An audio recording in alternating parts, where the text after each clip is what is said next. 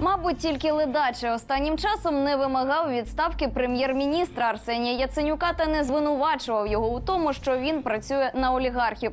Його політична сила, Народний фронт це свого роду дзеркало, публічне відображення інтересів прем'єра та його оточення.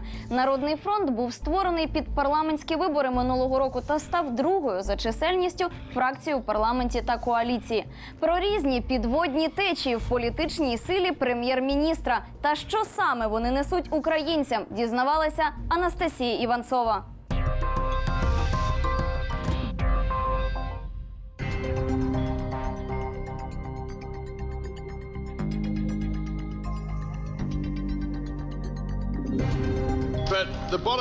Пересічні громадяни дивляться, що відбувається сьогодні у свої гаманці на свої доходи, і вони питають: пане прем'єре, чому ви б'єте по нас, але не б'єте по своїх друзях, які зараз і володіють основними медіа, промисловістю, яких ви навпаки захищаєте.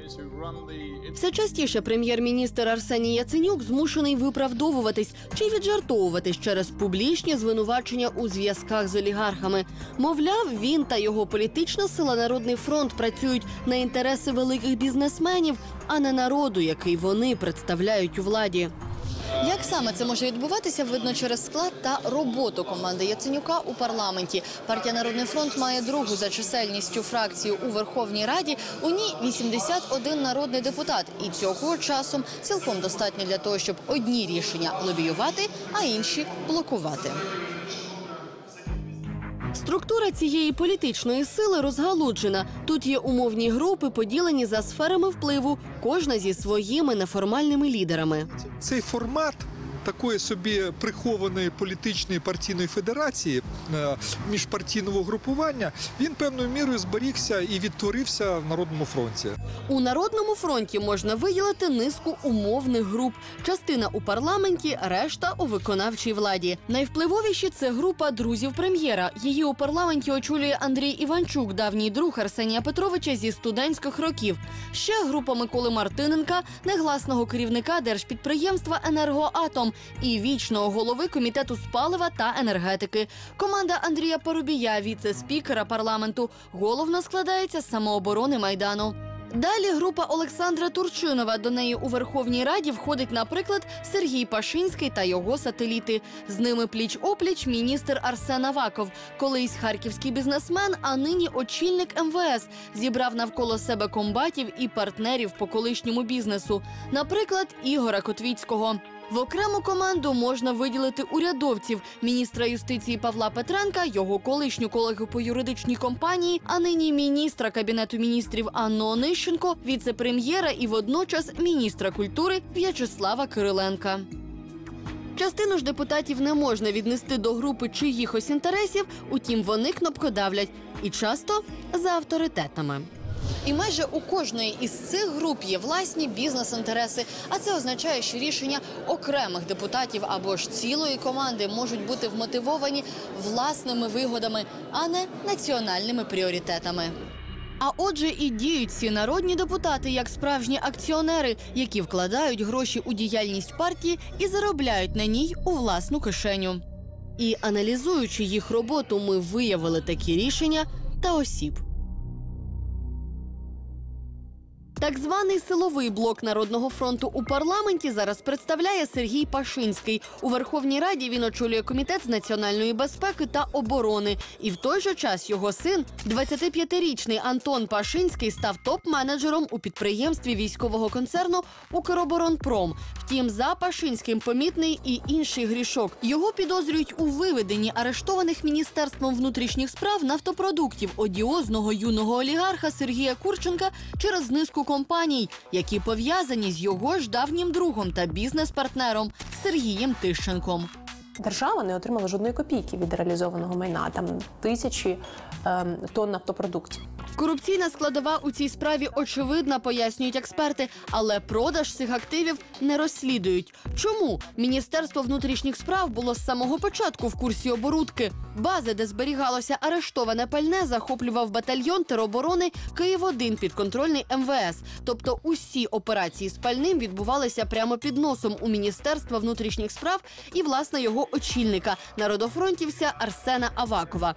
Ні зупинити, ні розслідувати зараз цю ситуацію не спромоглися, що говорить на підтвердження того, що Пашинський та Аваков у одному човні. Аваков і сам неодноразово потрапляв у корупційні скандали. Так, народний депутат Сергій Лещенко 25 вересня опублікував інформацію про оборудку, за якою соратник Авакова, депутат Ігор Котвіцький, вивів на панамські рахунки 40 мільйонів доларів. А це майже мільярд гривень, частина яких нібито належить Авакову. Міністр внутрішніх справ прямо звинувачення не спростував. Втім, назвав Лещенка маніпулятором. Но Игорь Котринский э, серьезно платит налоги, в отличие от него. Например, за прошлый год Игорь Котринский, народный депутат, заплатил 32 миллиона гривен подоходного налога. Все остальное манипуляции на, на уровне того, что Аваков делает новую политическую карьеру, на которую ему нужны деньги. Ему так сказали написать, он так написал. Ця історія наразі один із головних закулісних корупційних скандалів у політиці, який в публічну площину першими винесла наша програма, повідомивши, що нардеп Котвіцький заднім числом задекларував майже мільярд гривень на своїх рахунках, а це 40 мільйонів доларів. Саме стільки, за даними Сергія Лещенка, Котвіцький Аваков і вивели згодом на Панаму. А це Микола Мартиненко. Цього народофронтівця називають неофіційним керівником енергоатому державної монополії, яка контролює всі чотири атомні станції в Україні. З енергоатомом Мартиненка пов'язують, зокрема, через Юрія Недашківського, нинішнього керівника держпідприємства. Зв'язок між цими людьми неодноразово був предметом журналістських розслідувань, зокрема авторитетним тижневиком дзеркало тижня. Мартиненко має низку компаній в орбіті держмонополії, контракторів та посередників. Мартиненко, очолюючи там е, відповідний профільний е, комітет, має е, також ну. Якби його бізнес-структури вже роками працюють навколо ядерної енергетики і навколо цієї державної компанії «Енергоатом». Інша фінансова діяльність ядерного депутата уже розслідується закордонними правоохоронцями. Йдеться про звинувачення у хабарництві швейцарською прокуратурою. Тамтешні слідчі підтвердили це депутату Сергію Лещенку. Він перебуває під слідством в Швейцарії за справою про хабарництво, отримання 30 мільйонів франків на рахунок Швейцарії від е, чеського заводу Шкода, який отримав підряд на енергоатомі. Але цю справу одіозний політик спростовує.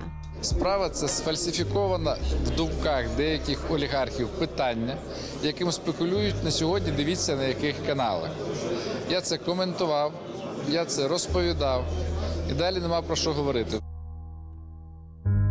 Як на мене, це означає, що у Мартиненка є е, якась така зелена картка, е, тобто він належить до е, категорії недоторканих, які мають надзвичайно сильний політичний вплив, е, який не дозволяє, е, щоб проти них було щось серйозне правоохоронним органам порушено. Якісь я маю на увазі провадження.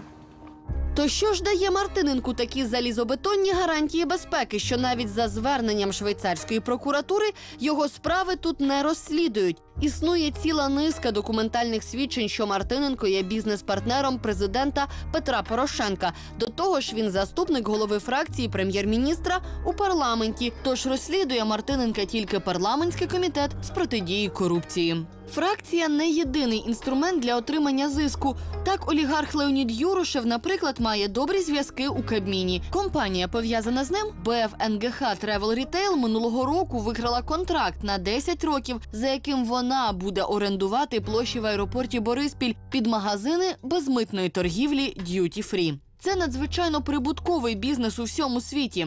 На конкурс у 2014-му подавалося п'ять компаній. Серед них і один із світових лідерів у цій галузі швейцарська Дюфрі. Але умови були прописані так, що жодна іноземна фірма не мала шансу. В тому числі була норма про досвід роботи в Україні. БВ НГХ Travel Retail LTD зареєстрована у Бориспільському районі на Київщині із кіперськими власниками. Ось одна із фірм переможців. Вона і отримала найбільшу територію для оренди понад 2000 квадратних метрів. Ще 750 квадратів за традицією отримала ТОВ Київріанта. Швейцарська Дюфрі одразу ж запротестувала, написала лист прем'єру.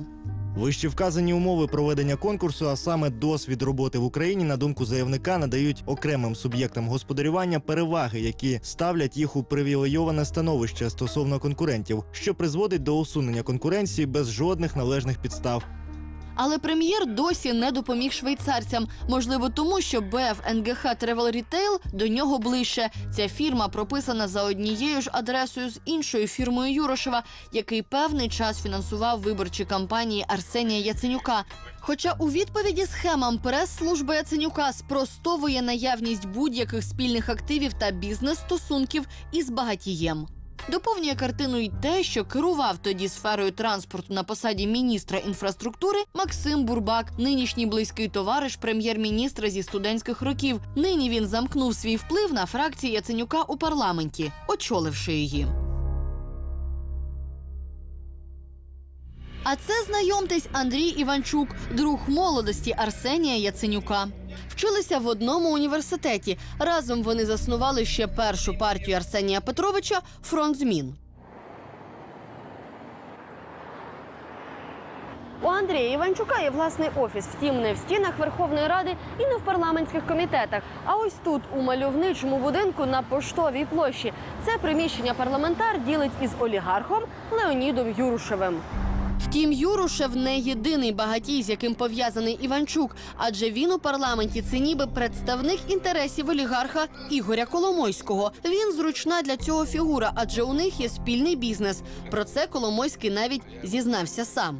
Но есть там некое предприятие, в котором у меня есть свой интерес, и есть у Иванчука свой интерес. Но там независимое управление, поэтому я не вмешиваюсь в управление этим предприятием. Я там, впливає- я там сказал, что портфельный инвестор. Ну ви часто телефонуєте Іванчуку? Да, мы общаемся, мы в хороших отношениях. Вы Иногда- впливаете? Иногда мы Вы ругаемся, но, но большей частью мы в хоро- Вплываю. Ну і так, він же голова комітету прав. Ну, а я есть в этой стране то место, и те люди, на которых я не впливаю. Щодо їх спільного бізнесу, то йдеться про компанію Технсервіс, що займається виготовленням біоетанолу, так званого екологічного пального. Нинішній директор компанії Технсервіс Василь Палійчук це колишній партнер Іванчука. Сам же Іванчук, попри прямі зізнання Коломойського, змушений публічно спростовувати зв'язки з олігархом. Що стосується заяв певних політиків, я вважаю, що вони повинні коментувати їх самі. Я не можу коментувати, хто що говорить. Але якщо подивитися на діяльність у парламенті усієї фракції Народного фронту, то слід Коломойського, попри спростування, можна помітити. Прикладом може бути голосування про зміни до закону про акціонерні збори, який мав забрати у Коломойського контроль над державною нафтовою компанією Укрнафта, де він має міноритарну частку, але контролює менеджмент. Спершу Народний фронт у сесійній залі не давав голоси за проект. Пояснював це тим, що документ був недосконалим. Кабинет министров, по сути, был вынужден подготовить корректный законопроект. И они его подготовили. Казалось бы, ничего уже не мешало его голосовать. Но, когда он поступил в парламент, загадочным образом глава парламентского комитета э, профильного Андрей Иванчук, ближайший соратник Яценюка, почему-то перестал собирать собрание этого комитета, Цим самим фактично Іванчук блокував внесення законопроекту на порядок денний і захищав Коломойського від втрати контролю за підприємством. Пізніше інтерес Коломойського проявився в ініціативі Яценюка створити єдину вертикально інтегровану нафтову компанію за участю державних підприємств та Кременчуцького нафтопереробного заводу, що належить олігарху, який мав би добрий зиск з такої компанії. Тож дії прем'єрської партії Народний фронт говорять самі за себе. Єдиний шанс для Яценюка та його політичної сили довести свою незалежність від партійних товстосумів це дати реальний хід розслідуванням усіх звинувачень, які є на їхню адресу.